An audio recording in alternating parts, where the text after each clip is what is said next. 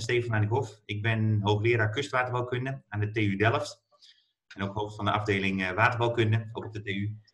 En mijn link met waterveiligheid is ook voor een belangrijk deel via het expertise-netwerk waterveiligheid. Waar ik voorzitter ben van ENW Kust. En, en, en, en meten en monitoring komt via ENW ook regelmatig langs. Uh, daar zit ook op een boel samenwerking met STOA. Dus ik vind het ook hartstikke leuk om, uh, om, om, om, via die lijn uh, bij dit seminar betrokken te kunnen zijn. Nou, in de, in, de, in, de, in, de, in, de, in de gesprekken voorafgaand aan dit seminar ging het er al een beetje over. Hè? Corona, dat, dat raakt ons allemaal natuurlijk. Een beetje gekke tijden. En, en het wordt ook niet heel veel beter, nog niet de komende weken waarschijnlijk. hebben veel mensen last van. Ik, ik zie het ook om me heen, vooral de mensen die wat meer geïsoleerd werken. Promovendi, die zitten ook ook echt wel omhoog. En dat geldt voor een boel andere mensen ook. Mensen met kinderen thuis. Dus we moeten maar, elkaar maar zoveel mogelijk bij helpen. Uh, dat gezegd hebben, laten we niet vergeten, er zijn ook lichtpuntjes. Uh, Bart noemde net al een lichtpuntje, hè, de samenwerking met Engeland. Uh, een seminar als dit, wat, wat hartstikke goed bezocht wordt. En, en, en zo'n proef in het Wiegepolder bijvoorbeeld, hè, waar Ludolf en, en, en Bart en anderen bij betrokken zijn. André natuurlijk. We hebben genoten van jullie belevenissen, die via de moderne media gedeeld werden. Het enthousiasme wat dat uitstraalde. Nou ja, laten we koesteren de dingen ook die wel lukken. En, uh, en, en, daar, en, daar, en daar stappen op zetten. Nou, komt ongetwijfeld nog langs verder, verder vandaag. Jasper heeft me gevraagd om een paar um, praktische mededelingen vooraf, huishoudelijke mededelingen. Als straks de presentaties beginnen, is het goed om onze camera's even uit te zetten met het oog op de, op de bandbreedte. Uh, zo er vragen zijn, willen jullie dan in eerste instantie die uh, stellen via de chatfunctie. En ik beloof dat ze dan allemaal langs laten komen in de discussie die volgt op de, op de, op de presentaties. En mocht geen discussie zijn, dan zijn er ook nog interactieve elementen. Dus die discussie die, eh, die komt er, kan ik beloven. En, en last but not least, zijn jullie allemaal akkoord dat we deze sessie gaan opnemen? in de blikken. Dus dan gaan we ons. Ik zal ook proberen me daarna te gedragen. Nou, uh, nogmaals van, uh, van, van, van harte welkom dus. Uh, hartstikke leuk dat, dat, jullie, dat jullie er allemaal zijn. Het thema van vandaag is, is binnenbeeld, buitenbeeld. Het belang van meten en monitoring op het beleidsterrein van de waterveiligheid. En, ehm, en nou ja, dat, is een, dat, is een hartstikke, dat is natuurlijk een hartstikke belangrijk thema. Het, ons beleidsterrein wordt, wordt gekenmerkt door, door veel onzekerheden. Ehm, door veel actoren en niet in de laatste plaats grote, grote belangen. En, uh, en daaraan gekoppeld ook vaak, uh, vaak projecten met een, uh, met, een, met een stevig prijskaartje. En besluitvorming op dat terrein is dan ook gepaard bij, bij verdere verbetering in zowel de kwaliteit als de doelmatigheid van, van de projecten die we met z'n allen doen. Nou, en daar kan en monitoring een, een, een hele belangrijke rol in spelen. Nou, dit, dit was eigenlijk de, een paar jaar geleden ook de aanleiding voor een ongevraagd advies, wat vanuit ENW is opgesteld. Dat heette Beter leren keren. Zullen velen van jullie van gehoord hebben. En ik wou toch dit moment gebruiken om, om in de introductie, de paar minuten die ik heb, om daar iets over te zeggen. Uh, dat advies is in eerste instantie in 2018 uh, eh, gepresenteerd. Daar stonden een aantal ideeën in uh, hoe we dan die meet- en monitoring in de praktijk konden brengen. Bijvoorbeeld via langjarige metingcampagnes op, op specifieke sites. En ook ook heel nadrukkelijk door te, te leren over de band van projecten in uitvoering. Dus echt over de grenzen van projecten heen te gaan denken. En ook grootschalige meetexperimenten, zoals die op dit moment lopen in de Hedwiegepolder. Nou, dat advies werd hartstikke goed ontvangen. Maar er was eigenlijk nog wel een slag nodig waar het ging om de concrete inbedding, de concrete implementatie. Het advies was nog een beetje algemeen, op het niveau dat iedereen het ermee eens was. Maar wat dan? En uh, uh, om die stap te zetten is vorig jaar een vervolgstudie geweest. Ehm, een bureaustudie waarin gepoogd werd om de adviezen uit dat advies uit 2018 die concreet te maken. Heeft geleid tot een shortlist van, van zes cases op basis van heel veel interviews in het, in het land. Ehm, van, van, van projecten waar, waar, waar, waar concreet wat geleerd zou kunnen gaan worden. Denk aan de glazen kering in Limburg, de hydraulische belasting in de Westerschelde, de erosiebestendigheid van samengestelde dijken en nog een, nog een aantal, aantal andere cases. En het uh, advies wat, wat uitgebracht is aan de directie van, van het Hoogwaterbeschermingsprogramma en de directie van INW bestond eigenlijk uit vier stappen. de eerste stap is, was van omarm nou deze zes cases en benoem voor elke case een verantwoordelijke organisatie. Dus dat er ownership wordt gecreëerd. Begin vervolgens voor elke case met de uitgebreide nut- en noodzaakanalyse. Dus wat wil je meten en wat gaat het op termijn opleveren? kan in geld zijn, maar kan ook in andere meerwaarden zijn voor andere projecten. Zorg voor een strategische incentive bij de HWP-projectleiders en andere sleutelfiguren om hier daadwerkelijk ook iets mee te gaan doen. Kijk, zolang een projectleider alleen wordt afgeleverd op, op tijd en binnen budget, uh, dan heeft hij misschien geen belang om een monitoringcampagne te starten voor het volgende project. Dus als je die incentive kunt creëren, kun je daadwerkelijk stappen gaan zetten met elkaar. En denk ook na over een bijbehorend financieringskader. Nou, dit is allemaal zeer recent. Dit speelde in december. Dus ik kan me voorstellen dat het niet helemaal is, is, is doorgedruppeld in, uh, in de verschillende organisaties. Maar ik hoop, ik hoop wel dat dat gaat, gaat gebeuren. Uh, en dat we ook hier echt, echt ook stappen kunnen gaan zetten. Want ik denk dat dat heel belangrijk is. En ehm, het grappige is, terwijl die interviews vorig jaar plaatsvonden, toen waren vanuit de wereld van de echte, de dagelijks beheerders van de, van, van, van, van de in het land, die zeiden van waar we eigenlijk, en daar hadden we nog helemaal zelf niet aan gedacht, maar waar wij eigenlijk ook behoefte aan hebben, is uh, continu informatie over de staat van onze keringen. Real-time informatie over de sterkte en de toestand van, van onze keringen. En, uh, en dat kan via moderne sensoren, dat kan via remote sensing. Er zijn allerlei moderne technieken voor, om, uh, om dat misschien wel in combinatie met modellen zelfs, om daar iets van uh, aan, aan, aan, te gaan doen. Maar dat was nadrukkelijk een nieuw element wat vanuit die beheerderswereld naar voren werd geschoven. En wat we uiteindelijk ook nog hebben ingebed in, die, uh, in, in het rapportje wat, wat, wat die studie heeft, heeft opgeleverd. Nou, ik, dat vond ik een hele leuke, want dat is ook een hele, opmaat naar de, hele mooie opmaat naar deze sessie. Naar binnenbeeld, buitenbeeld. Want je ziet dat, uh, dat af en toe het, het beeld wat uh, zeg maar achter een computerscherm ge, ge, ge, gevormd wordt over de toestand van een bepaalde kering, niet per se hetzelfde is als het beeld wat een uh, beheerder met jarenlange gebiedservaring heeft van diezelfde kering. En het is een hele belangrijke vraag die we met z'n allen moeten beantwoorden van hoe, hoe krijgen we nou die twee werelden, die twee beelden, hoe krijgen we die dichter bij elkaar? En dan zitten we eigenlijk op het punt dat de meter monitoring in beeld komt dat kan een hele belangrijke rol gaan spelen om die kloof tussen die twee werelden te dichten. Nou, daar gaan we het vandaag over hebben. Uh, we hebben twee mensen in ons gezelschap, Anko van den Heuvel en Marije de Gruiter. Die, uh, die hebben het programma voorbereid.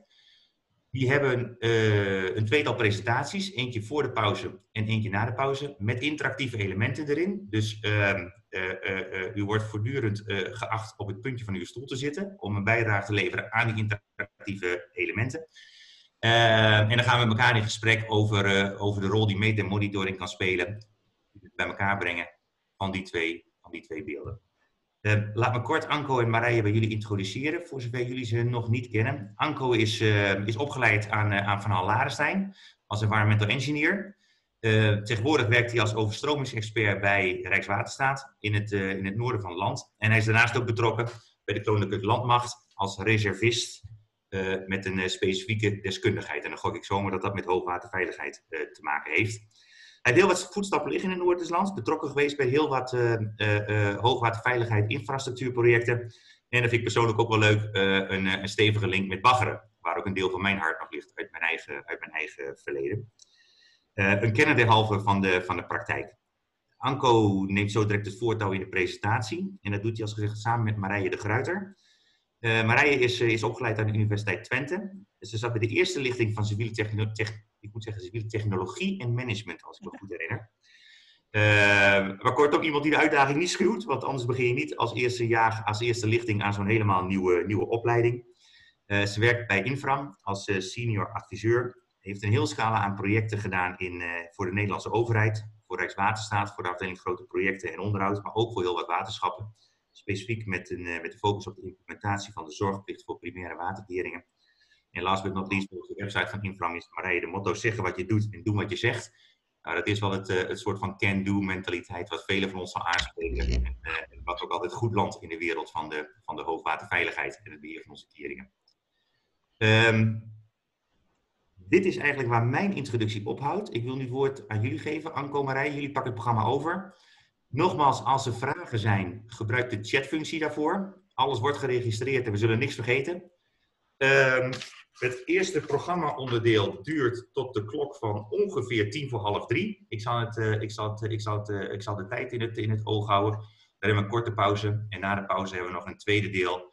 Dat gaat over de combinatie van beheer en onderhoud uh, ten eh, behoeve van beoordelingsinformatie van kering. Maar goed, dat is straks na de, na, na de koffie. In eerste instantie gaan we het hebben over de hoogwater. Anko, mag ik jou het woord geven? Ja hoor. Marije, wil je de presentatie starten? Als het goed is, zien jullie nou de presentatie?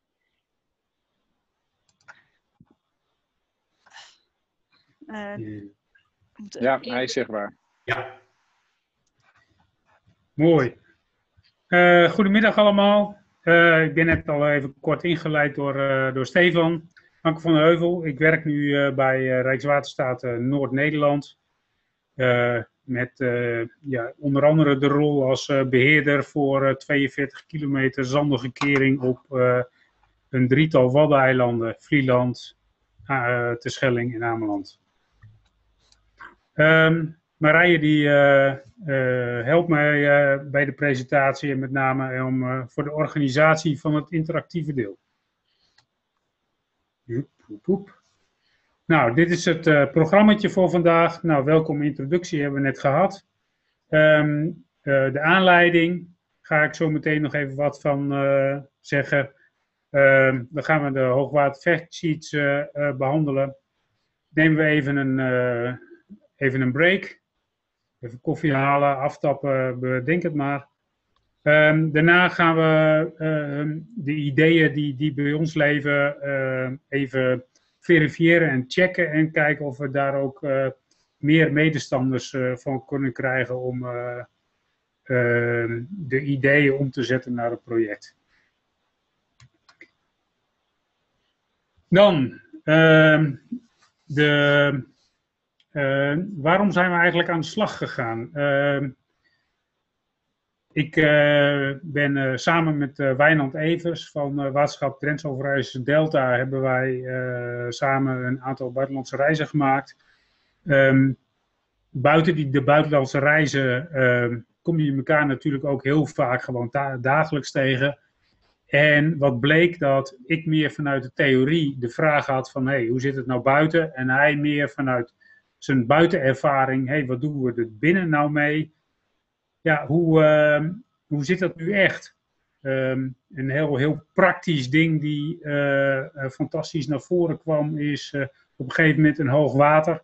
En het, een deel wat als onvoldoende was beoordeeld in de beoordeling, ehm, daar was geen enkel kwel onder de dijk door water nemen. En op een ander deel waar juist uh, die heel sterk was op papier. Nou, daar spoot het water ongeveer om je oren. Um, en uh, hey, passen die beelden wel op elkaar en zijn we wel uh, met de goede dingen bezig? dat wij constateren dat we um, los van elkaar vergelijkbare zaken uh, constateerde en eigenlijk een plek wilde, wilde geven. Um, enerzijds om vast te leggen wat je leert en anderzijds ook om um, de, de ervaring, de inzichten die je opdoet ergens een plek te geven, zodat ook iemand anders er wat mee kan. Um, en uh, het idee is ook dat we dat uh, middels factsheets kunnen gaan versterken. Nou ja, en ook die WBI-kennis uh, benutten bij beheer. Uh, soms is de rekensom heel verstandig en soms is het ook heel verstandig om eerst even buiten te gaan kijken voordat je überhaupt aan één rekensom uh, begint.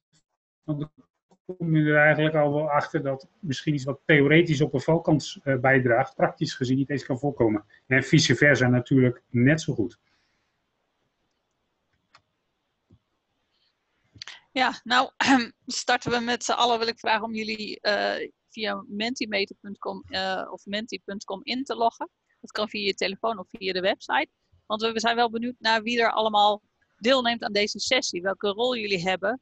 En uh, jullie kunnen dat doen door in te loggen met de code die er bovenaan staat bij menti.com. Dat is 20 34 67 6. En ik zie er al heeft één persoon al gereageerd. Dat is mooi. En ik zie nu langzaam zeker de teller oplopen.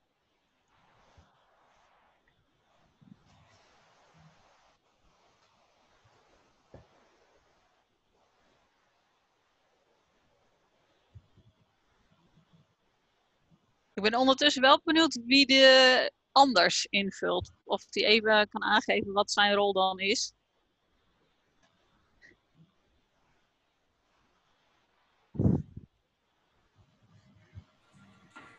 Uh, Ron Benning hier. Ik ben werkzaam bij een Amerikaanse vastgoedverzekeraar. En ik ben binnen de organisatie verantwoordelijk voor overstromingsrisico voor onze klanten. Oh, dat is heel wat anders dan de normale publiek wat we hebben. Dus dat is zeker leuk om te horen. Oké.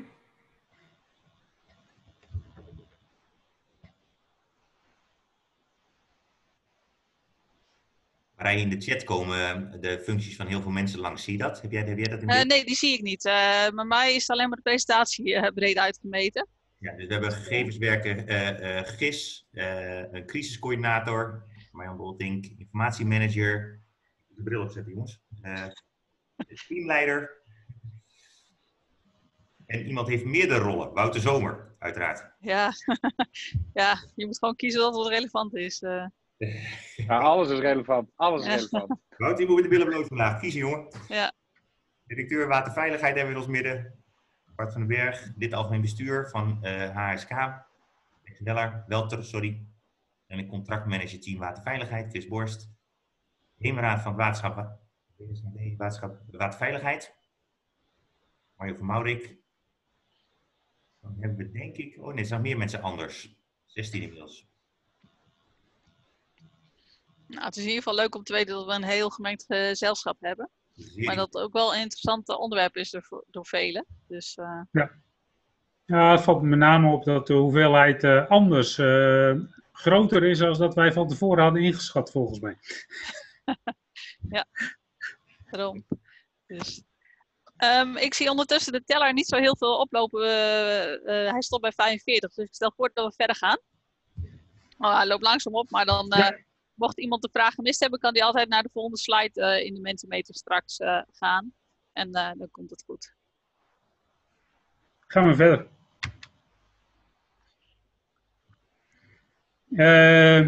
nou, de geleerde lessen. nou, in eerste instantie zeg maar de aanleiding. Nederlandse pers komen het buitenland of bij hoogwater in een crisissituatie bij elkaar. Um, um, en wat we ook hebben, in Nederland komen hoogwatersituaties um, eigenlijk relatief gezien heel weinig voor. En omdat onze normen zo hoog zijn, hoogwatersituaties die inderdaad leiden tot opschaling van de organisatie, uh, komen dus nog minder vaak voor. en doordat we ja, zo veilig zijn, zeg maar, hè, ontbreekt het eigenlijk aan, aan kennis, ervaring en inzichten om uh, te weten wat je moet doen als het echt uh, spannend wordt. En um, het andere is ook het perspectief. Als wij denken dat iets spannend wordt, is het dan ook wel daadwerkelijk spannend. En dat is natuurlijk ook kennis en ervaring um, die we breder in organisaties moeten delen om te zorgen dat we inderdaad voorkomen dat het, uh, de kennis beperkt blijft tot een hele kleine groep. Uh, maar ook ehm, de behoefte om de, de, kennis en ervaring die we hebben opgedaan eh, breder te delen en ook breder te ontsluiten.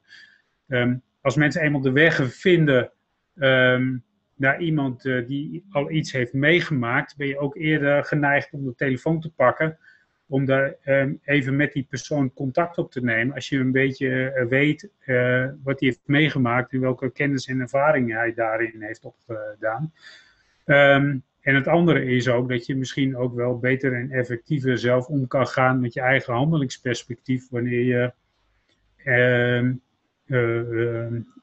ook kunt bouwen op ervaring die iemand anders ooit eens een keer ergens anders heeft opgedaan. Um, waar staan we nu? Nou, we hebben in ieder geval uh, de factsheets ontsloten via de wiki, website van de wiki noodmaatregelen. Um, zoals een aantal weten, maar nog niet iedereen, vanuit Rijkswaterstaat en, de STOA begeleid ik de mannen van de wiki noodmaatregelen in doorontwikkeling van de wiki. Um, zo hebben we afgelopen maand ook nog wel weer daar overleg over gehad. Over uh, wat gaan we doen met de wiki. En ook um, eh, zeg maar het gestalte geven van eh, dit onderwerp en dat een plek geven op de wiki was juist een van de dingen die ook de wiki weer sterker maakt om kennis en kunde te delen. Ehm, we hebben twee vormen van factsheets beschikbaar. Eén in het Nederlands en één in het Engels. Uh, die Engels is met name voor onze buitenlandse ervaringen heel erg handig. Maar soms is natuurlijk ook een Nederlandse ervaring in het Engels vertalen, omdat misschien iemand uit het buitenland wil delen in onze, of wil kennis nemen van onze ervaring, is natuurlijk ook heel erg handig. Um, en we hebben ook internationale samenwerkingsverbanden, onder andere met het Environmental Agency, waar Bart Vonk, uh, voordat deze vergadering uh, kwam, uh, kort over heeft gesproken. Ehm, maar bijvoorbeeld ook het Army Corps of Engineers, waar we ook een samenwerkingsovereenkomst mee, mee hebben. Om maar te zwijgen, alle participanten in Living Lab, het weer Prosperpolder. Um, we hebben natuurlijk ehm, de vorm en format al uh, besproken in de, de, de samenwerking crisisbeheersing uh, waterkeringenoverleg. Um, het crisis expertteam waterkeringen is er inmiddels al mee bekend mee, de wiki. En we hebben ook uh, vanuit Dens Overijssel Delta begrepen dat ook daar binnen de organisatie het format wordt toegepast.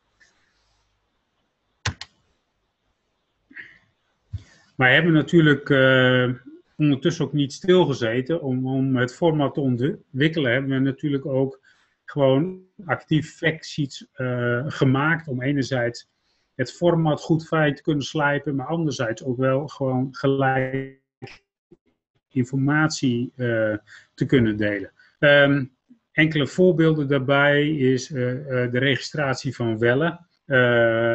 Uh, zo uh, als we dat ook in Amerika hebben, hebben gezien.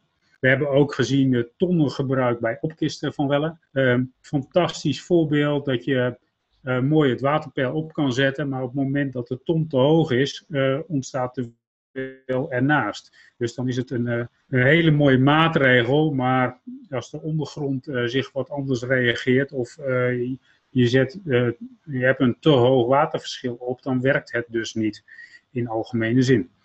Uh, soms misschien wel inkoppers, maar aan de andere kant, uh, op het moment dat je ook inkoppers niet deelt, dan uh, gaan mensen eh, zijn dan geneigd om uiteindelijk weer dezelfde fout te maken die, die, die al eerder ook gemaakt is. En dat zou natuurlijk zeker in de crisissituatie jammer zijn.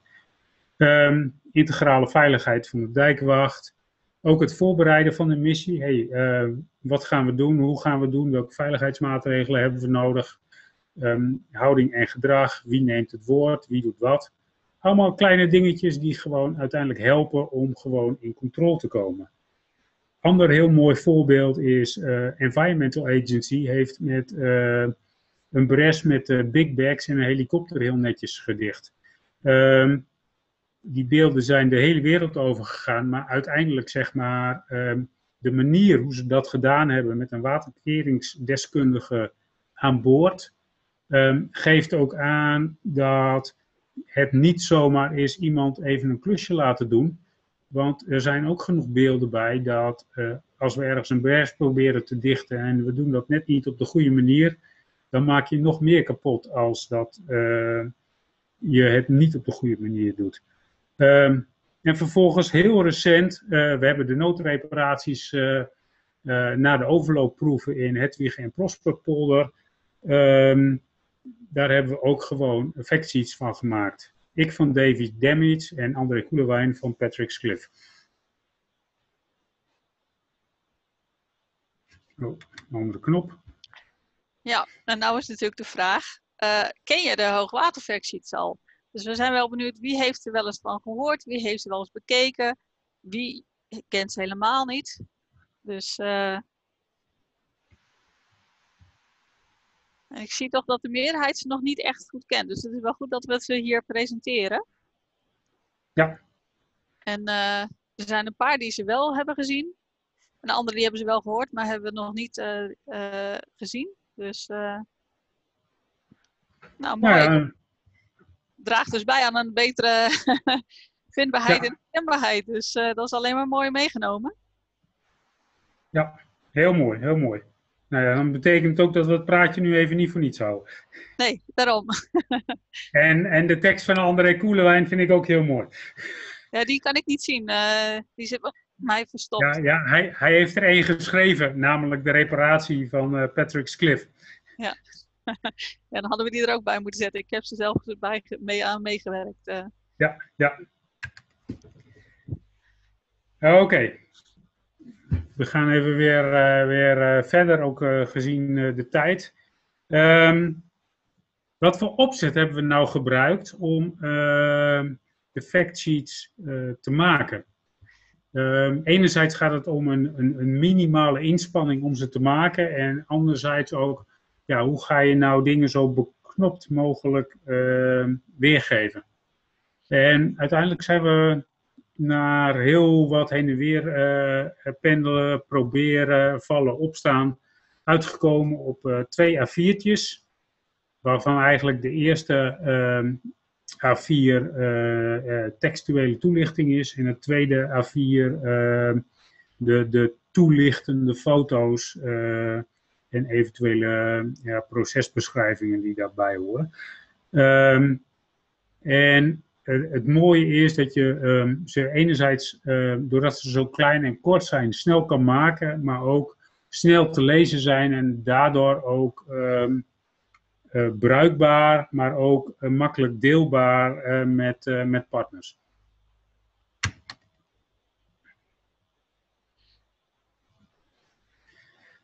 Ja, zonder eh, gelijk eh, het heel spannend te maken. Een van de deelnemers onder ons, eh André, die heeft deze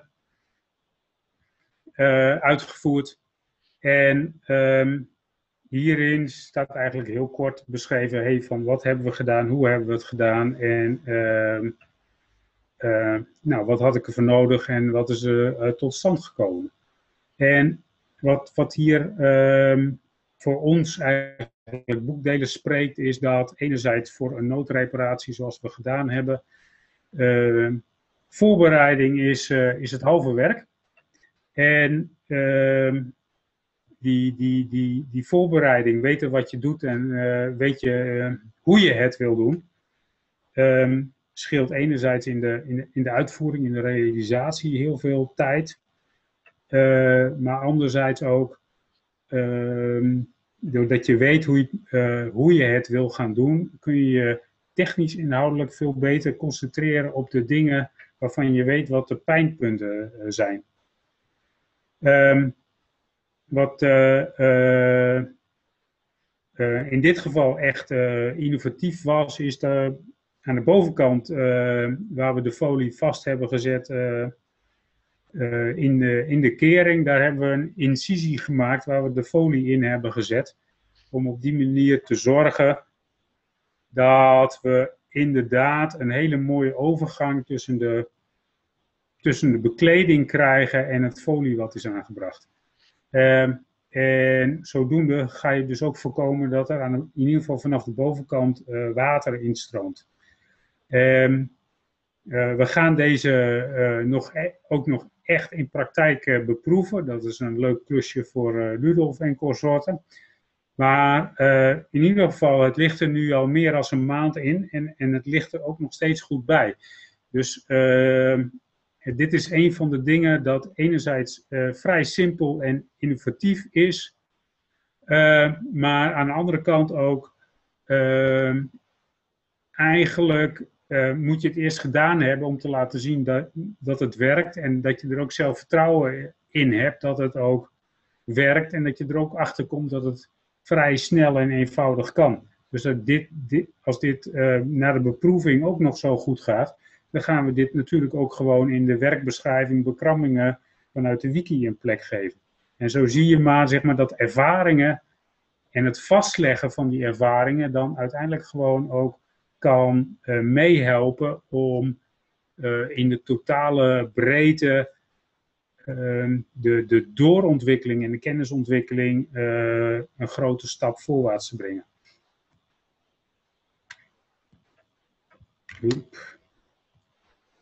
Nog even.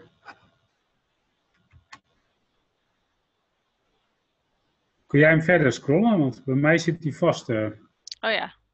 Nou, jullie hebben nu eh, een voorbeeld gezien van de factsheets en welke onderwerpen zijn. Denk je, zou je ze willen gebruiken in de praktijk? Of denk je dat er iets mee te kunnen doen?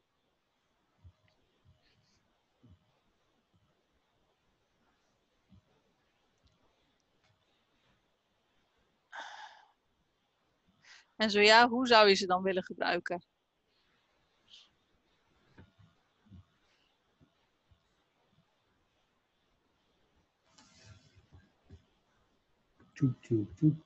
Nou, het is nog erg rustig, maar het gaat wel komen. Ja. Ja, ja, ja.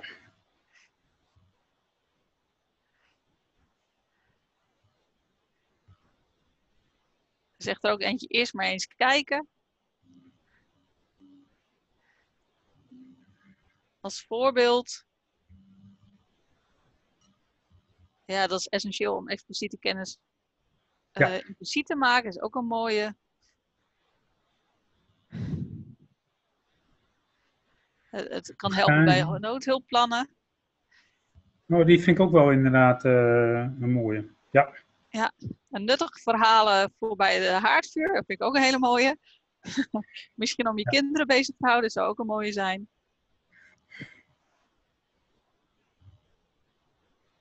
Nou, bewustwording. eh, eerst intern bespreken met de beheerder en daarna eh, ook in van het opslag.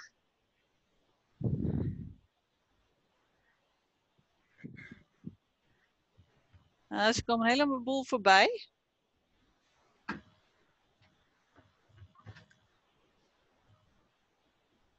Hey. Wie, wie heeft eh, als info te gebruiken voor werkwijze genie opgeschreven? Ja, dat ben ik. Charles Smit, de regionaal militair operationeel adviseur van de Brabant Zuidoost. Oh, Oké, ja, heel goed. Ja. Ik zit zelf ook, eh, ben ook gedeeld bij de genie. Ah, vandaar. Logisch ook, hè? Ja, ja, ja, ja, ja. Vandaar dat het even gelijk eh, de aandacht vestigt. Ja, ik had hem ook opgeschreven trouwens, Auke Visser van Delftland. Ja,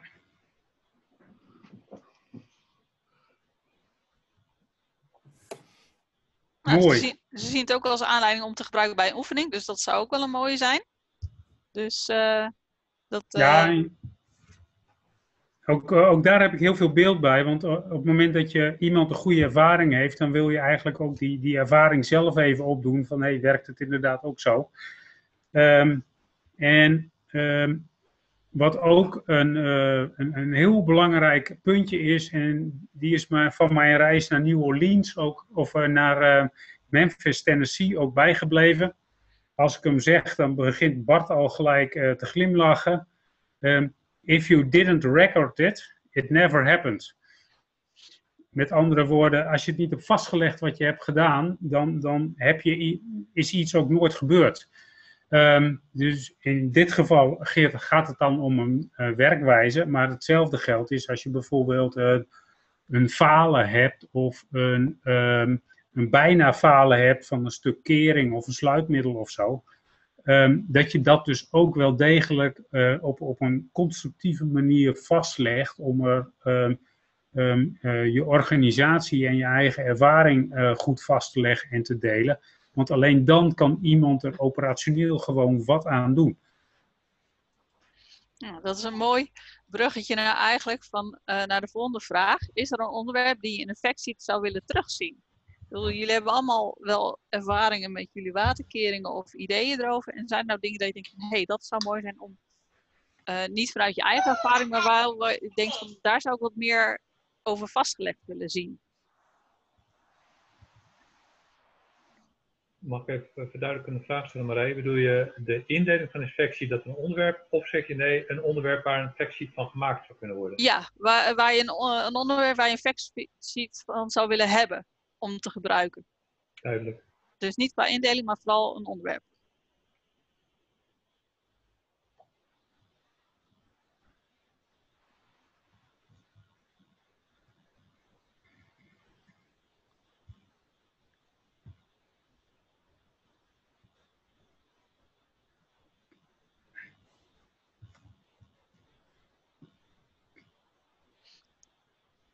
Ja, dit is ook een lastige, want het is natuurlijk van ja, er zijn zoveel dingen waar je misschien wel, als het er is, denkt van dat is handig om te weten. Maar eh, Ja. eh, het is eh, sowieso wel mooi om te kijken of mensen al denken van dat zou mooi zijn. Praktijk versus papier, nazorg. Noodbermen. noodberm.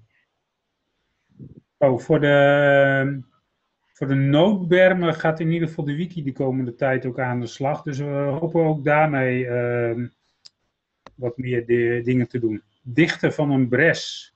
Ja, er is er nu één van, maar misschien dat er nog wel meer eh, dingen van kunnen komen.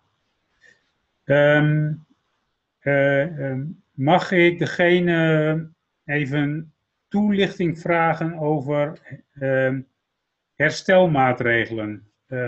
Eh, is dat herstelmaatregelen na de noodmaatregelen of ehm, herstelmaatregelen ehm, die je ziet als noodmaatregel?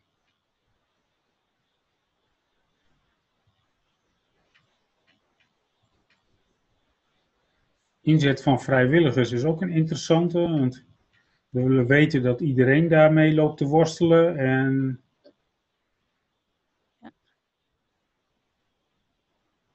En validatie van maatregelen, is dat duidelijk wat daarmee bedoeld wordt voor jou, Anko? Of eh moeten we daar ook Ehm, een duiding op vragen?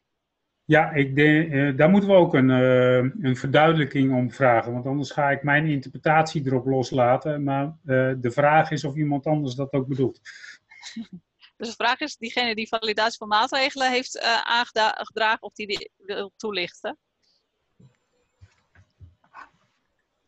Voor mij ben ik dat eh, geweest, Anko. Ah, Het gaat mij erom dat, eh, net als Bart aangaf, dat je eh, probeert van een maatregel aan te geven van wat er allemaal gebeurt. Dat je hier ook een soort kwaliteitsniveau aan hangt van wat de, de, de maatregel al dan niet voor effectiviteit heeft of risico's loopt, zeg maar. Ja, inderdaad. Nee, maar dit is eh, volgens mij ook het beeld van ehm, nou, de noodmaatregelen die we nou de laatste keer hebben aangebracht. Die gaan nog even beproefd wo- worden. En ik zie dat als een soort met van validatie. Ehm, en ehm, hetzelfde zie ik eh, wellicht nog ontstaan langs de rivieren. Dat we, want er komt, eh, het schijnt nog wat, wat eh, extra water aan te komen. Dus dan, dat zijn ook momenten dat we kunnen eh, valideren dat we een maatregel hebben toegepast. En vervolgens kunnen we achteraf ook kijken van heeft hij nou voldoende gehouden? Slash heeft hij bijgedragen aan de beheersing van de valkans of niet? Drijfvuil. Oeh, die is ook wel een... eh, Nou, ik zie ook aandacht voor het werken met een externe partij ook eh, al een paar keer terugkomen. Dus dat is ook wel een. Ja, inderdaad. Dus, Oh, en eh, het nog vastleggen van de ervaringen uit 1995, die vind ik ook heel interessant. Want eh, er gaan natuurlijk heel veel mensen komende jaren uit die daar bijzondere ervaringen hebben opgedaan, die nog wel een plek ergens moeten krijgen. Ja.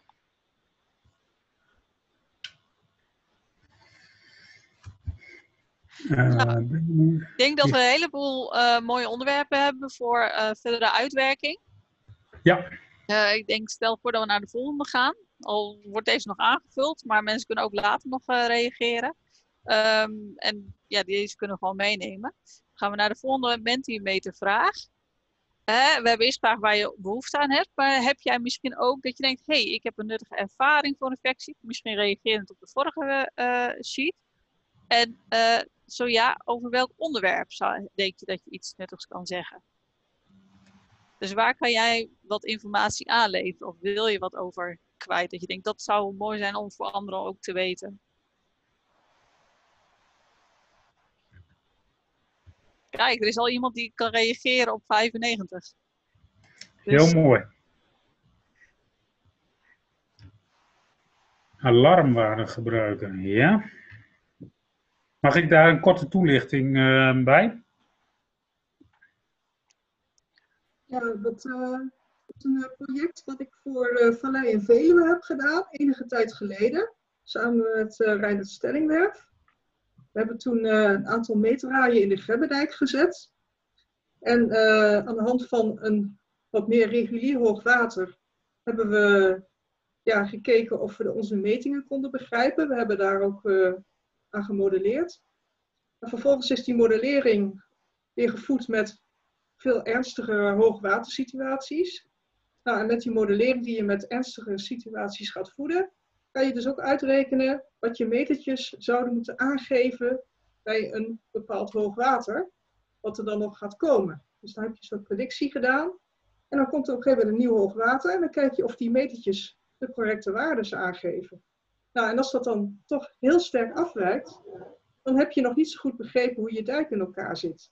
Dus dan is het een soort alarm van joh, laten we even alles weer bijstellen, zodat we heel goed weten hoe die dijk in elkaar zit, hoe die reageert op hoog water. Nou, het is een heel complex verhaal. Het landt altijd heel moeizaam, maar ik hoop dat het nu een beetje duidelijk is.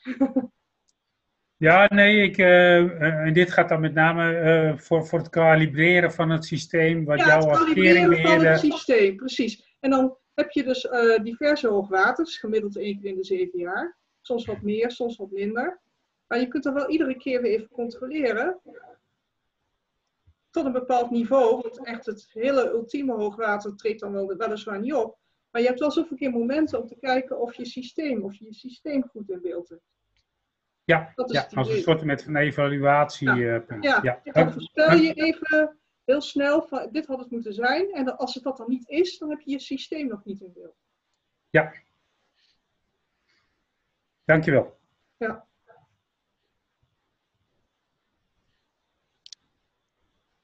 Ja, ik zie ook nog dat Polders to See eh, een paar keer aangedragen wordt. Daar hadden jullie al wat factsheets van, eh, volgens mij naar aanleiding van eh, ontwikkeld. Maar volgens mij zijn er nog meer informatie of leerervaringen uit te halen. Ik zie ook Ja, de, de kleioplossing en de Kiowa-bags, die, die moeten nog worden aangebracht. Dus die leerervaringen, die gaan we nog opdoen. Oké. Ehm, het blijft een beetje rustig met de ervaring die mensen hebben, maar dat, dat geeft niet. Daar komen we later wel op terug. Ik ga even naar de volgende vraag die we hadden. Ehm, ja, hè, we hebben nu een aantal behoeftes gehoord en een aantal mensen die zeggen: Ik wil wel wat eh, kwijt. Maar de vraag is of je ook wil meedenken over de hoogwaterfactsheets. En als je dat wil, laat dan je naam en gegevens achter. Jullie kunnen reageren, alleen eh, de naam en gegevens zullen anoniem verwerkt worden. Dus ook al vul je wat in, die, komt niet op mijn scherm terecht en ook niet bij anderen. Die zien wij alleen als, eh, als organisatie eh, terug eh, eh, dat het er is. Ik zie al dat één iemand gereageerd heeft, dus dat is mooi. Waarvoor dank alvast. En mocht je je naam achtergelaten hebben, dan zal Anko en, en Wijnand TZT contact met jullie opnemen. Ja. Of af te spreken wat en hoe. Dus Ja, de bedoeling is echt dat we er wat mee gaan doen en ehm, nou, dat de leerervaringen gedeeld worden en dat we de, de factsheet zo goed mogelijk vullen. En eh, ehm, eh, de andere zorg die wij ook hebben en eh, die, die, ehm, dat, dat we ook in andere programma's die allemaal raakpunten hebben, dat daar ook kennis van wordt genomen om te zorgen dat het wat, wat breder het systeem in waterkeringsland ingaat. Nou, ik zie toch al dat vier mensen iets willen, eh, willen meedenken, dus dat is al mooi. Ja, eh, dan, eh, daar ben ik heel blij mee. Ja. Want ik wil zelf ook, ik heb zelf ook nog eentje die ik wil, een plekje wil geven. En nou, dan kunnen we zo het aantal factsheets enerzijds uitbreiden. en anderzijds gaan we hier ook nog weer in de komende wiki-bijeenkomst nog even bij, eh, bij stilstaan. Eh, met, eh, bij alle input. Want eh, ja, misschien moeten we daarmee ook nog een aantal onderdelen van de wiki ook nog wat mee gaan doen. Anko, En- mijn, eh, mijn rol vanmiddag is ook een beetje die van spelbederver. Eh, over, een, over een minuutje of wat, dan worden we geacht nieuwe koffie te halen. Eh, voordat we doen, er zijn nog twee vragen binnengekomen via de, via de chat die te maken hebben met de opzet van de huidige uh, factsheets. Dus niet zozeer nieuwe onderwerpen, maar wel ehm, eh, over de invulling van de huidige. Bart die vraagt van, ehm, is het mogelijk om aan te geven of iets een bewezen oplossing is, of dat iets voor de eerste keer is toegepast? Is daar ruimte voor? Ehm, nou, er is altijd ruimte voor, voor verbetering. en ja, als we dingen nog kunnen verbeteren, optimaliseren, sta ik daar gewoon open voor. Ik denk dat het met name gaat over, Bart, Bart corrigeer me als je het anders ziet, maar als iets geïnterpreteerd zou kunnen worden als een bewezen oplossing, terwijl die feitelijk misschien nog maar één keer als hè, al heel lokaal is toegepast, dat die niet, dat die niet overgewaardeerd wordt, omdat er een factsheet van is. Gewoon een simpel ja. vinkboxje, proven of inactive of zoiets. Gewoon ja. vinkje ja. zetten, dan weet iedereen, oké. Okay. Nee, prima. Dat, uh, dit is volgens mij iets wat ik gelijk uh, met, uh, met de makers van de factsheets gewoon op kan nemen en kan, kan laten toevoegen. Pas probleem. De tweede suggestie komt van Auke Visser. Die zegt van misschien iets meer ruimte reserveren voor een omgevingskaartje en wat extra, wat extra achtergrondinformatie. En als het dan moet, dan kan het wel de kosten gaan van de grootte van de titel. Uh, ga ik in de, in de groep gooien. Ga ik in de groep gooien. Want dit vind ik nogal een, een, uh, een lastige. Enerzijds is omgevingsfactoren inderdaad heel belangrijk. En voor andere dingen zijn omgevingsfactoren juist weer helemaal niet belangrijk. Dus daar moeten we even de goede modus in zien te vinden. Ga ik ook nog even opnemen met, met de groep waarmee we ze maken. Ja. Ja, wat Arjen van Haal die bevestigt inderdaad, het is altijd belangrijk om de randvoorwaarden te kennen. Want zonder dat kun je de doelmatigheid van een oplossing lastig, lastig evalueren naar dat, dat onderscheiding. Ja, ja. Ook is daarmee jouw vragen beantwoord?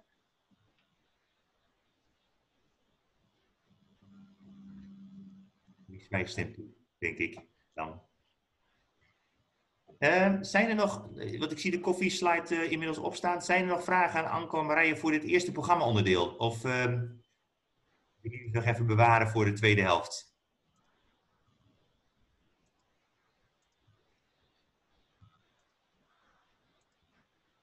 Nee? Nou. Ik zal weggerend zijn naar koffie. Ja. nee, dan uh, gaan we nu koffie halen. Het is nu even pauze. Dank voor jullie actieve deelname tot dusver. We pakken 10 minuutjes pauze tot half drie. En dan zien we elkaar over 10 minuten weer. Tot zo. Succes bij het vervolg.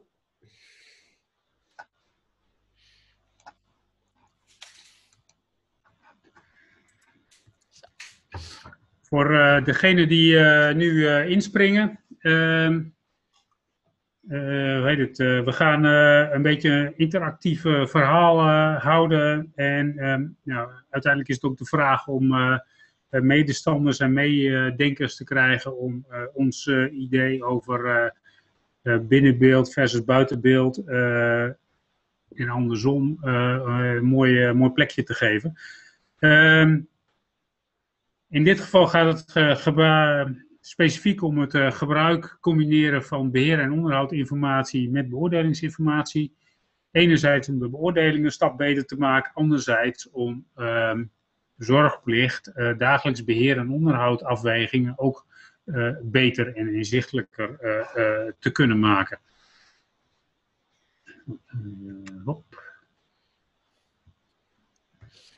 Ik ga even een, een een korte uh, aanleiding schetsen. Uh, daarna uh, nou, de aanpak waar we tot op heden aan zitten te denken. En vervolgens wil ik met name ideeën en medestanders ophalen, zodat we verder kunnen gaan met de ontwikkeling. Nou, een aanleiding is natuurlijk het combineren van buiteninformatie met binneninformatie informatie. Ehm, enerzijds eh, ten behoeve van verbetering van besluiten tijdens hoogwatersituaties. Maar ook vooral bij het dagelijks beheren van de keringen. Ehm, waar we eigenlijk uh, heel interessant uh, even bij stil moeten staan, is met name keringen in Nederland die, staan best wel aan wat extremen bloot. Um, enerzijds hoogwaterextremen, daar waar ze uh, voor bedoeld zijn. anderzijds eh, kunnen we ons ook twee jaar geleden goed voorstellen dat eh, het eh, enorm droog is. Eh, en dat heeft ook effect op, eh, op je toestand van je kering. Ehm, en eh, het punt is, ja, ga je, ga, je, ga je alles doen? Ga je een deel doen? Of ga je alleen doen daar waar er daadwerkelijk risico's eh, zijn?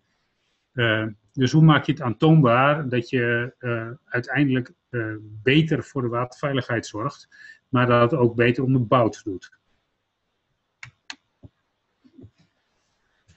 Ehm, wij willen in eerste instantie zeg maar, gaan voor wat, wat uh, kleinschaligheid, gewoon om ervaring op te doen en dingen in de vingers te krijgen.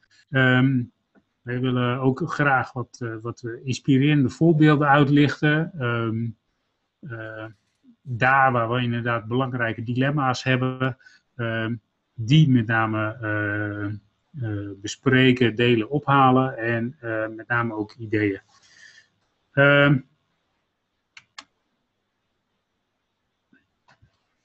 gewoon heel simpel, vraag vanuit de praktijk. En die komt met name vanuit twee jaar geleden aan de orde. Eh, eh, het is droog en ik zie eh, ja, dat het gras niet opti- optimaal groeit. Ehm, nou, mijn hele waterkering onderhouden gaat niet. Ehm, en ik kan ook niet zeg maar, op willekeur gaan. Dus waar geef ik mijn grasmat mat water? Ehm, eh, andersom inderdaad verwoord van hey, waar is nou mijn grasmat cruciaal voor mijn waterveiligheid? En waar is het, eh, eh, zit hij er wel op, maar is hij niet per se nodig om eh, mijn kering te laten voldoen aan mijn faalkans? Ehm, dat verschilt per stukje. En hoe ga ik nou goed die, die combinatie van beheerdersinformatie en beoordelingsinformatie nu een, een plek geven?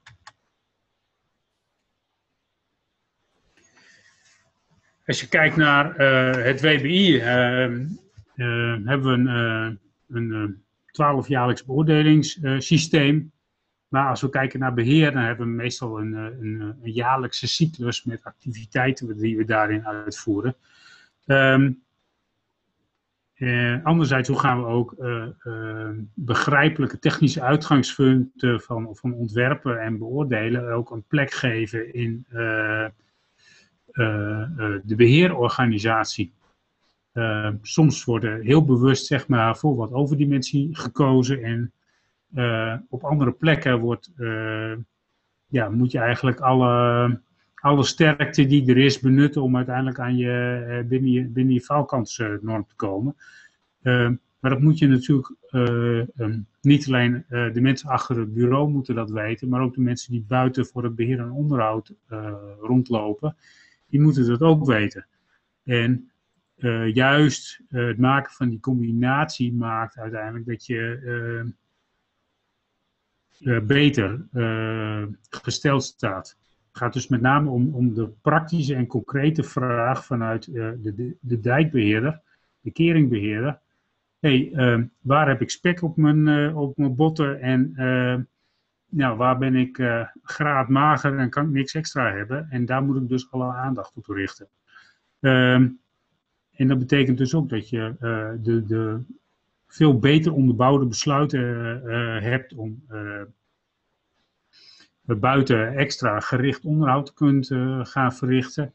Maar ook dat je je veel bewuster bent dat er vakken zijn die extra aandacht nodig hebben. En vakken zijn die nog steeds wel aandacht nodig hebben, maar misschien eh, met ietsie minder toe kunnen.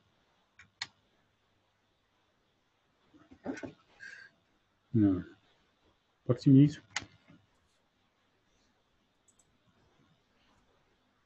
Dank je. Als eh, eh, eh, voorbeeld eh, voor de stabiliteit van het eh eh, binnentaluut hebben we hier een klein stukje grensoverreizers delta eh, uitgelicht. Eh, je ziet hier eh, heel mooi een, eh, een groen lijntje, een oranje lijntje, een stukje rood lijn en een, een geel lijntje. Ehm, over een heel, heel stuk strekking van de kering. En ehm, wat je hier eigenlijk ziet, is dat als je beter eh, eh, begrijpt hoe je, hoe je kering eh, in elkaar zit, dat je dus veel beter weet dat op één stuk heb ik dus vet op mijn botten. Dus als, er, als ik droogte krijg, dan hoef ik op die plek niet bang te wezen voor mijn grasmat. Op een andere plek moet ik het wel in de gaten houden, maar als het niet te erg wordt, dan valt het wel mee. En eh, nou, op de stukken die hier dan bijvoorbeeld eh, eh, oranje en rood zijn, in, in een jaar van droogte, zijn dat de plekken waar ik mijn aandacht aan moet gaan besteden. En dat de plekken waar ik bijvoorbeeld toch het gras op de kering water moet gaan geven. en eventueel nog wel nog wat andere additionele onderhoudsmaatregelen om te zorgen dat eh, op het moment dat de kering belast wordt, de kering over eh, zijn hele dijktraject eh, min of meer dezelfde prestaties kan, kan leveren. En op die manier wil relatie heel duidelijk gaan gebruiken voor het da- dagelijkse beheer. En het andere kant op is dan ook zo, op het moment dat je dit twaalf jaar goed doet, eh, kun je ook beter in je beoordeling gebruik maken van eh, eh, de input als beheerder. Want daar waar het kritisch is, kun je beter aantonen eh, dat de grasmat voldoet. En daar waar het niet kritisch is, ehm, weet je ook dat het niet erg is dat de grasmat niet voldoet, omdat het op een andere manier getackeld wordt. Ja, dan gaan we weer even eh, de vraag aan jullie stellen. Van, gebruik je al beoordelingsinformatie bij je inspectie? En we kunnen hem ook uitbreiden naar inspectie en onderhoud. Dus we zijn benieuwd. Kijk.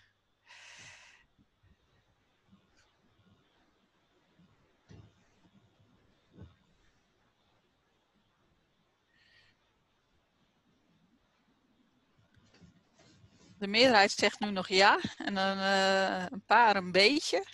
Eentje die zegt duidelijk nee. Ja. Dan, eh, mag ik de mensen van een beetje vragen om dat even, even eh, toe te lichten?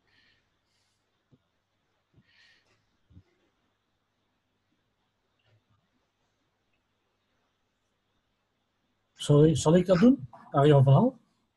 Ja. Kijk, we zijn natuurlijk nu voor het eerst bezig met een eh, beoordelingsronde. Voorheen hadden we natuurlijk de oude systematiek en de toets op veiligheid. Eh, dus wat wij nu aan beoordelingen eh, uitvoeren, dan wel laten uitvoeren, levert nu zijn eerste resultaten op. En met die resultaten zijn we aan de slag om te zien hoe we daar al dan niet met beheersmaatregelen eh, mee aan de gang moeten. ten einde gesteld te staan op datgene wat we natuurlijk hopen dat nooit zal gebeuren. Dat was mijn eh, opmerking. Oké, ja. Dus het zit nog niet eh, eh, in de cyclus, interne werkcyclus. Nee, de Dat ben je nu aan het beoordeling, verkennen. de beoordeling is nu volop in uitvoering en de resultaten stromen binnen. En het vervolgproces moet nog handen en voeten krijgen. Ja. Mag ik ook iemand even vragen van die ja heeft eh, geantwoord? Op te reageren? En hoe jullie dat doen? dat is ook de volgende Mentimeter vraag, eh, Anko. Oké, sorry. ik ben te snel. Ja, dat gezegd hebbende, eh, ga ik weer naar de volgende vraag. Want eh, Anko gaat alvast verder. Van, en hè, gebruik je hem al? Zo ja, hoe gebruik je deze? En ook als je een beetje hebt gezegd van ja, hoe gebruik je deze? Dan probeer dat aan te geven. Kort.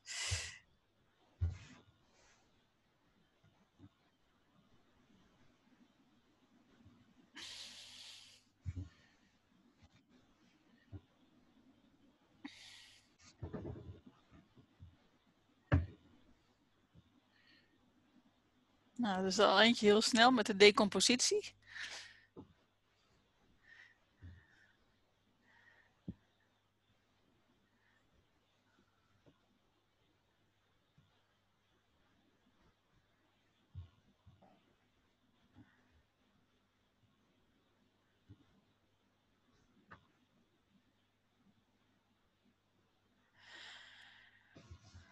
En eentje gebruikt, voor zijn calamiteitenplan. Ehm, Ja, ik zie calamiteitenplan, noodmaatregelen. het uitbreiden of beperken van inspectielocaties.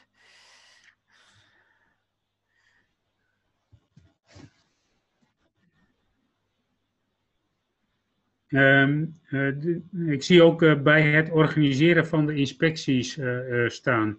Eh, bedoel je daarbij ook het uitbreiden eh, of beperken van inspectielocaties? Ja, die, eh, die had ik opgeschreven, Dennis Koster. Ehm, dus ja, we gebruiken nu ehm beoordelingsgegevens voor het, het plannen van inspecties. En we hebben een hogere inspectiefrequentie bij eh, risicovolle keringen dan, eh, dan minder. eh. dus daar gebruiken we hem voor. Ook voor eh, CBP gebruiken we de, de gegevens. En ik zie ook een hele mooie link naar het risicogestuurd beheer en onderhoud. Waar, waar we, het staat op zich nog, eh, zijn we nog in, eh, in de beginfase, maar daar zie ik een hele mooie link in. eh. Ja, nee, dat klopt. Die, eh, die link hadden wij ook eh, gezien. En ik had jouw eh, opmerking ook op de chat eh, gezien. Ehm, ik, ik beschouw risicogestuurd beheer en onderhoud, maar dat is even heel persoonlijk, Dennis. Eh, meer als eh, logisch nadenken over je kering. Op basis van alle informatie die bij, naar je toe komt. Ja, nee, die, die, die snap ik. eh. maar ook, ook binnen de werkgroep risicogestuurd weer en onderhoud hebben we het hier ook wel over gehad. En zien we met, met name ook de, de, de, ja, de toetsresultaten als een heel mooie input voor, eh, voor de methodiek van risicogestuurd beheer en onderhoud. En zoals hier ook al werd gezegd, decompositie. eh, wat, eigenlijk, wat eigenlijk als e- e- eerste stap voor je risicogestuurd beheer en onderhoud eh, is daar een hele mooie aanleiding toe. Dus dat je met je decompositie rekening houdt met je toetsing. Ja, oké. Nee, dankjewel Dennis. Ehm, Eh, ik ga nog even één, één Nou, vraag. wou- Niet, niet alle mankementen aan de waterkering zijn natuurlijk met beheer en onderhoud goed te maken. Eh, uiteraard, uiteraard. Een hoogtetekort ga je niet eh, met inspectie eh, beheersen. Ehm, ik zie lastig in 250 tekens. Mag ik die persoon even het woord geven? Nou, dat ben ik, Arjan van Hal. Ehm, kijk, Alweer. Ja, je begint natuurlijk met de analyse van de uitkomsten van je wettelijke beoordeling. En dan ga je kijken van wat kan ik daar in alle redelijkheid aan doen. Zijn er zaken die ik via beheermaatregelen, inspectie, onderhoud kan verbeteren en op het juiste niveau brengen. Je zegt net zelf al, hoogtetekort zul je als het plaatselijk is wellicht nog met een noodmaatregel, een beheersmaatregel kunnen doen. Als je een hoogtetekort over je volledige dijklengte hebt, is dat niet aan de orde. En dat geldt voor heel veel bezwijkmechanismes, die, eh, faalmechanismes die een rol kunnen spelen. Zo is dit bedoeld, dus eh, vandaar 250 tekens is weinig. Ja, oké, dankjewel. Oké, dan gaan we naar de volgende sheet. Weer aan Anko. Ja. Ehm, nou, dan eh, een andere simpele vraag uit de praktijk. Hè. Kijk, eh, ehm, ehm, beoordeling is net uitgevoerd. ehm, eh, waar is scherp beoordeeld en waar, waar is niet scherp beoordeeld? Wat ik bijvoorbeeld op, op, op mijn netvlies heb, ik heb plekken waarbij ik, nou, vroeger heette dat eenvoudig, eenvoudige beoordeling. Dus op basis van hele ruwe vuistregels, dan je kering een voldoende lage valkans heeft, is het prima. Eh, op het moment dat je zeg maar alles uit de kast moet halen om dingen recht te rekenen, ja, dan wordt die altijd wat, eh, wat scherper. En daarmee eh, eh, heb je dus ook al wat, wat meer risico. Ehm, en de vraag die, die wij eigenlijk zelf hebben, van hey, zijn er dan ook dingen waar we ehm, met onderhoud makkelijk en efficiënt op in eh, kunnen spelen? Zo van hey, ehm, weet ik dat ook, eh, dat, de, dat we tot aan het randje gegaan zijn, of weet ik dat niet? En ehm, ehm, ja, wat ga ik dan doen in mijn eh, beheer en onderhoud?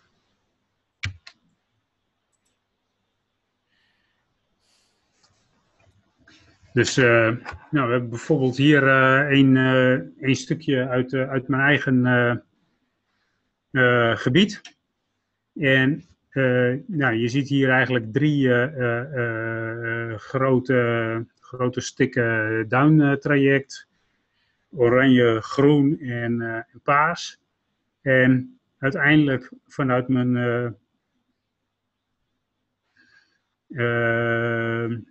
beoordeling blijkt dat zeg maar het rode gebied hier, rood is in dit geval een willekeurige kleur, ehm, is echt gewoon super sterk. En dan maakt, maakt de, de vorm van mijn kering en maakt helemaal niks uit. Terwijl ehm, het groene stuk eigenlijk direct vanuit zee wordt aangevallen. Dus daar ehm, wil ik en moet ik gewoon vinger aan de pols houden. Ehm, maar ook als ik onderhoudswerkzaamheden uitvoer aan de kering, vinden die eigenlijk ook altijd plaats in dat, in dat, in dat groene stuk. Het paarse stuk uh, is misschien iets minder hoog als, uh, als het rode stuk, maar uiteindelijk zeg maar, um, hebben we daar een kering die eigenlijk niet of nauwelijks belast zal worden. En is het ehm, ja, in praktijk eigenlijk min of meer een lijn die door het landschap loopt, omdat die wat hoger loopt. Maar uiteindelijk uh, de daadwerkelijke waterlijn zal altijd ergens voor die theoretische hoge, hoge lijn eindigen. Um, en zo zie je dat je ja, binnen, in ieder geval wij, bij ons binnen onze kering eigenlijk één, één van de totale kering eigenlijk één traject hebben waar we vanuit beheer eigenlijk alle aandacht aan richten en de rest ehm, kijken we wel naar, maar uh, dat lift eigenlijk mee op hoofdzakelijk alle aandacht van dat groene stuk. Ja, dus eigenlijk nu is, gaan we de vraag andersom stellen. Uh, we hadden net de vraag of je al beoordelingsinformatie gebruikt bij beheer en onderhoud. En nu eigenlijk is de vraag, gebruik je al de inspectieinformatie bij je beoordeling? Dus net andersom, uh, wederkerig naar elkaar van hoe gebruik, gebruik je die al? En zometeen komt ook weer de vraag, zo ja, hoe gebruik je dat dan? Dus dit is gewoon een eerste inventarisatie.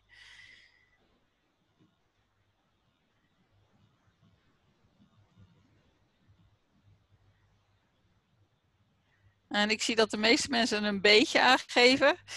Uh, er waren nog niet zo heel veel nee's uh, toen ik uh, net naar keek. Dus het is wel interessant dat iedereen zegt van, dat ze het een beetje gebruiken. Ja, ik ben ook wel benieuwd naar, kan een nee ook een, een toelichting geven?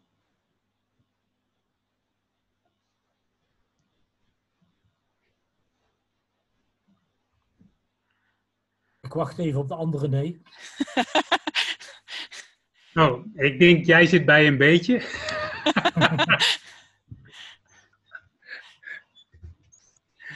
Nou, uh, ik heb nee ingevuld, maar um, het is wel zo dat degenen die de WBI uitvoeren, zijn een paar ervaren mensen die al heel lang bij het waterschap meedraaien.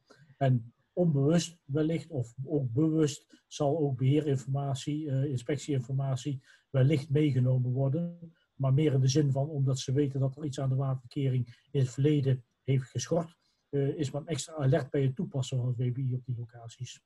Maar gestructureerd uh, is uh, momenteel in uitrol. Oké, okay. helder. Dankjewel voor de toelichting, uh, Arjen. Nou, dan gaan we ook alvast even naar de volgende vraag. Van zo ja, als je hem een beetje gebruikt of uh, wel gebruikt, hoe gebruik je dat dan? Hoe gebruik je de beheer- en onderhoudsinformatie, inspectieinformatie voor je WBI?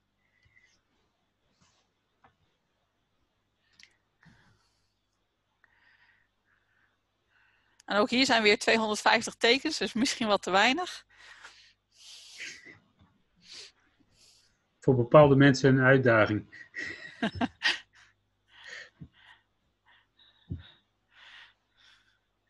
Iemand gebruikt het voor het verhaal van de dijk. En u mag gelijk zijn verhaal doen, wat mij betreft. Omgekeerd, verhaal van de dijk gebruik je beoordeling. Uh, wat hierachter zit is, is uh, Bart Vonk trouwens, uh, is uh, waar de Amerikanen ons al op wezen voor onze beoordelingen, dat wij zo achter de modellen zitten, dat de kans op een false positive of een false negative enorm groot is. En wat zij veel meer doen is met de, eh, de dijkinspecteurs in gesprek gaan en op die manier tot je risicoanalyse kan. Dat noemen ze dan het verhaal van de dijk. Dus gebruik de ervaring eh, van de mensen in het veld om te komen tot je risico-inschatting voor je beoordeling. En dan kun je die false positive, false negative uit eh, filteren als het ware. En dat hebben we van mij in, in, Limburg geprobeerd ook.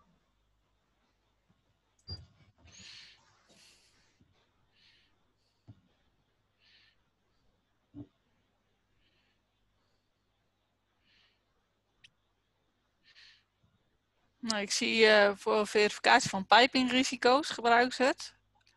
Ja. Dat is een eh, hele eh, bekende.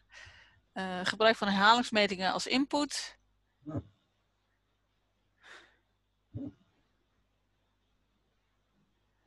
Ja, continu inzicht koppeling. Ja, die begrijp ik ook.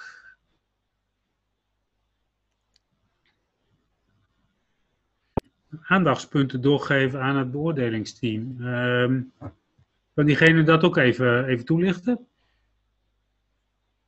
Ja, dat ben ik, Jan-Paul Bras van eh, Waterschap Rijn en IJssel.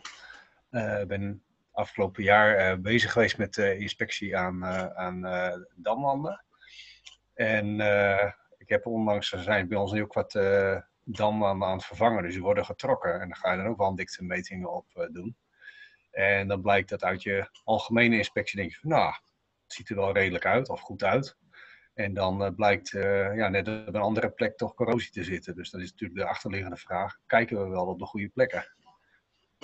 En als je dan een beoordeling hebt, dan is het ook wel handig om eh, in ieder geval eh, eh, dat, dat thema of, of eh, deze vraag ook door te geven aan de mensen die zich met beoordeling bezighouden. Ja, mooi. Dankjewel eh Jan-Paul. Ja, ik zie er niet zo heel veel andere dingen bij komen. Dus ik ga door naar de volgende. Een heel klein, heel klein dingetje opbrengen. Net in de chat eh dreigde even een interessante discussie te ontstaan over eh, de bruikbaarheid van de WBI-informatie. Eh Arjan en Leo brachten die zei van let op, eh, het geeft wel de faalkans, maar niet exact de locatie. En eh, soms staat die informatie zo ver van de werkelijkheid af dat, er, eh, dat het lastig is om er echt gericht wat mee te doen. Anko, wil jij er eens op reageren? Of, of, of andere mensen die daar een eh, beeld bij hebben? Nou, eh, laat, laat ik een aftrap maken. Ehm, en ik heb dat eigenlijk al eh, de vorige beoordelingsronde ook al eh, meegemaakt. Dat ik theoretisch gezien, zeg maar, delen van de kering zou moeten afkeuren. Terwijl ik gewoon wist van, nou, het is hier gewoon fluitend sterk genoeg. Ja. Alleen ehm, waar je dus heel erg op bedacht moet zijn, shit in is shit out. En de toepassingscriteria waarop het WBI is gebaseerd. En ik zie heel vaak dat ehm, buiten de toepassingscriteria waarop het, eh, eh, de berekening is gebaseerd, eh, hij wel wordt toegepast. En daardoor ehm, nou ja, ja, zit je eigenlijk gelijk weer shit in is shit out. En, en dan kan ik me voorstellen dat je significante afwijkingen krijgt die niet passen bij jouw beeld van de kering. Ehm, wat ik. ehm, Ja, Anko, mag ik daar wat op aanvullen? Ik had, eerst, ik had dus ook een opmerking. Leo van Nieuwenhuizen.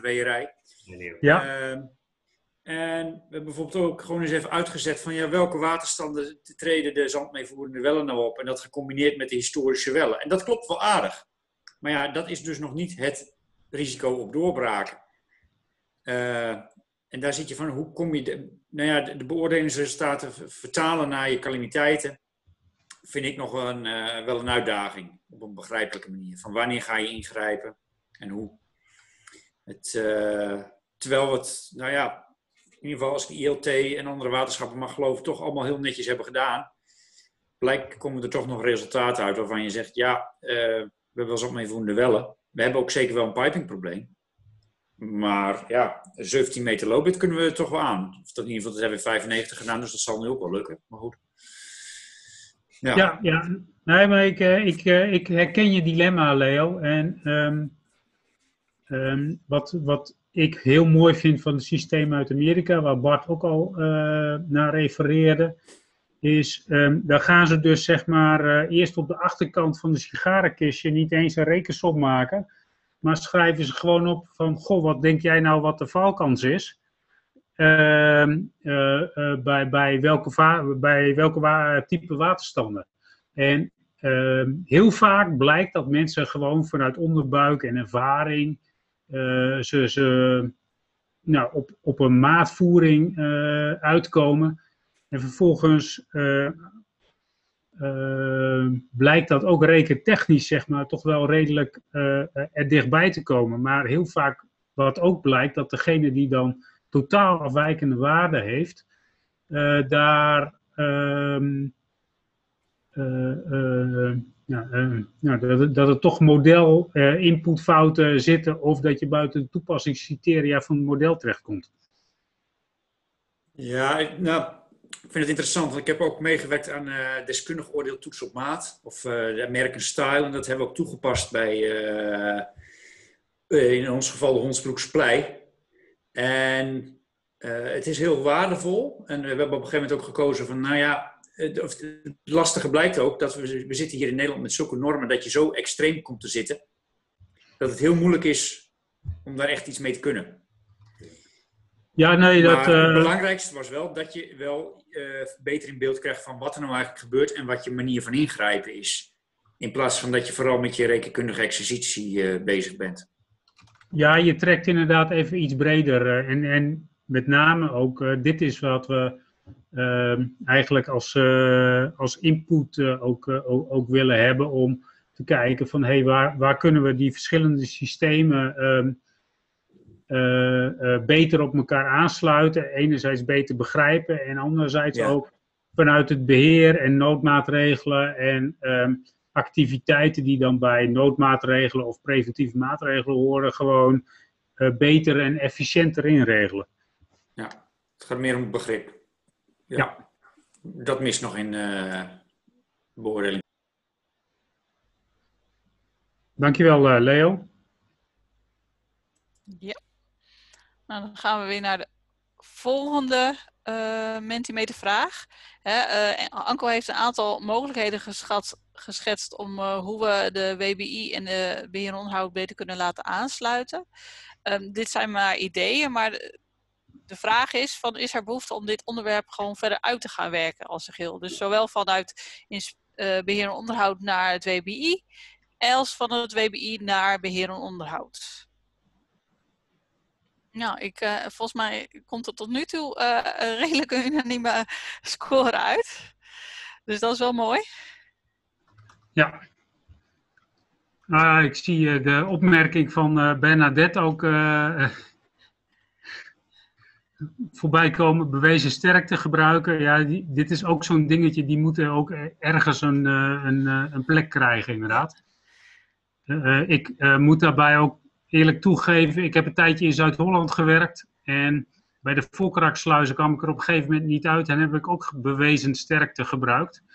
Omdat eh, vanuit het Volkerak zo meer eh, de waterstanden vroeger op getij waren en tegenwoordig niet meer. Dus dat betekent dat ze vroeger eh, drie, vier meter meer konden keren, als dat ze nou hoeven te keren. Dus ja, als dat goed gaat, dan gaat het lager ook goed.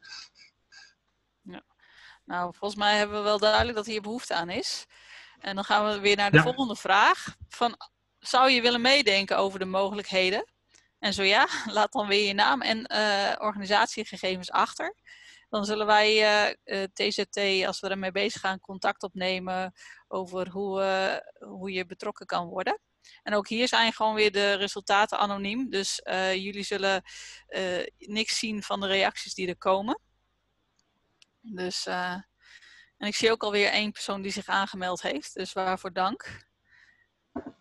En eh, ik ben benieuwd. of- Ah, het, het, loopt, loopt snel op, zie ik al. Ik heb er al vier.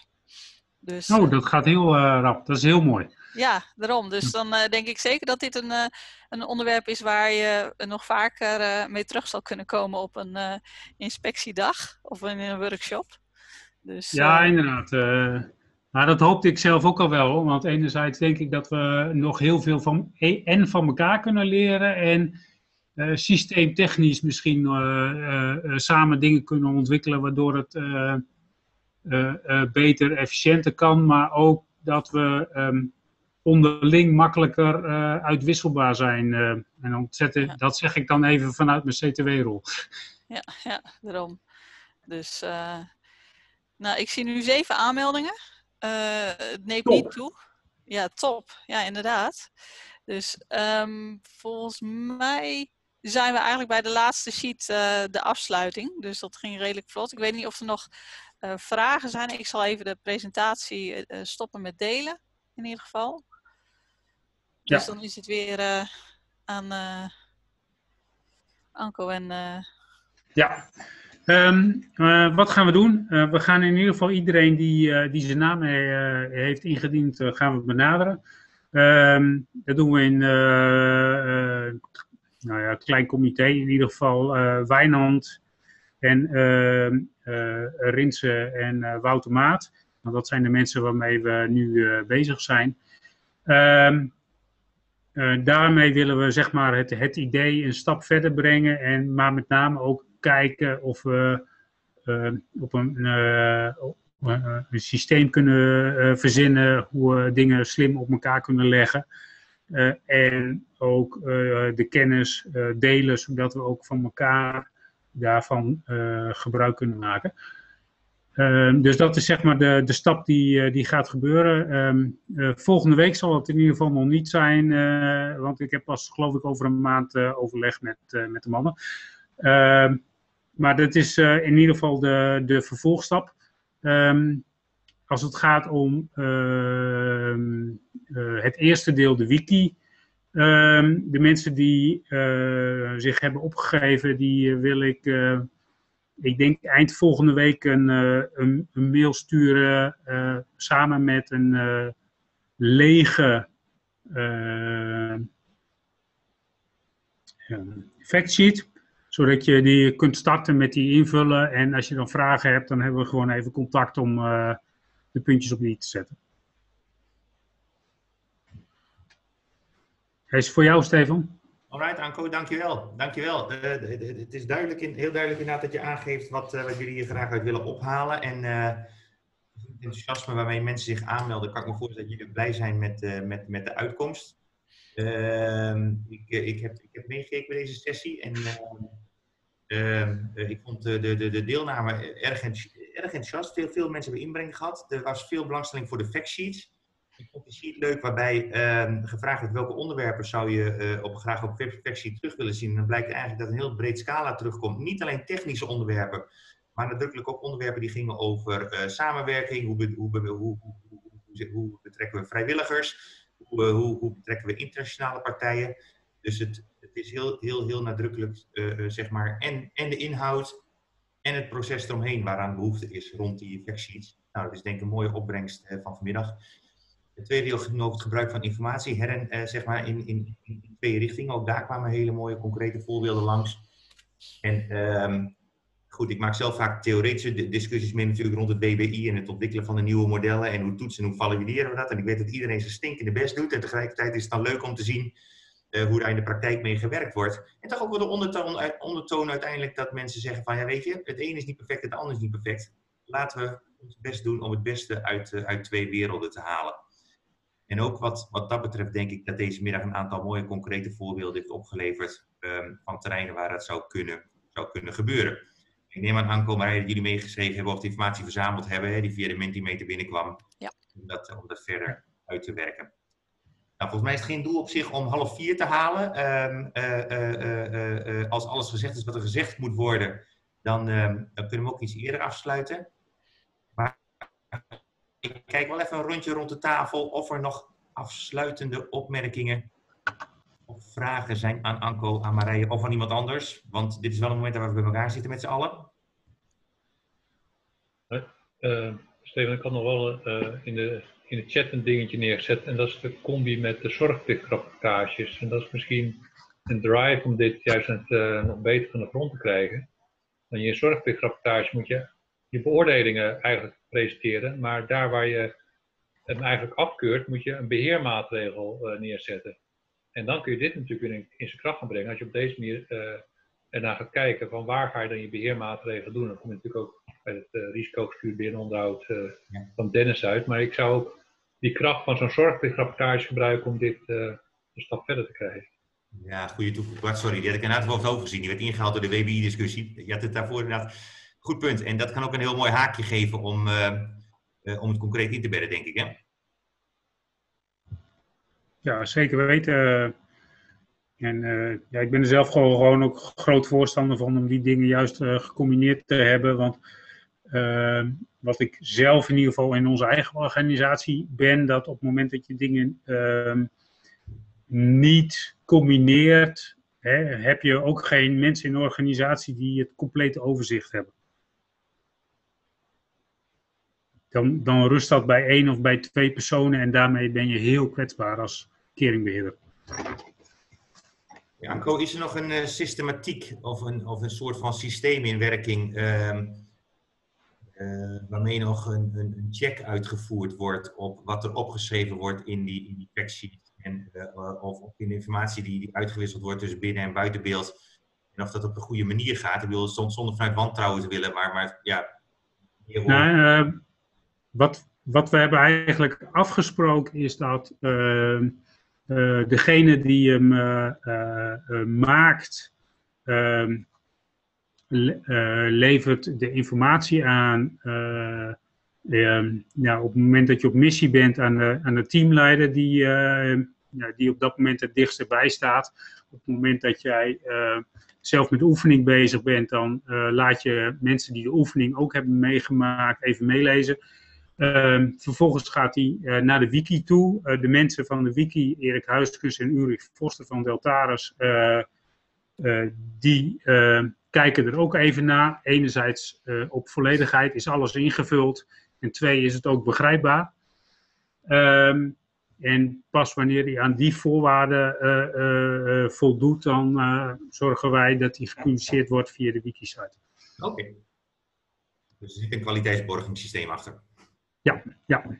ja mooi.